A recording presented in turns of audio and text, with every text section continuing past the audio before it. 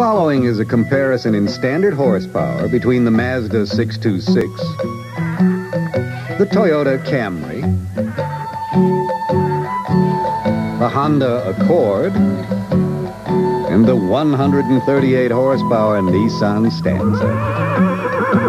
And at this price, it's the most gallop for the fewest bucks. Nissan, built for the human race.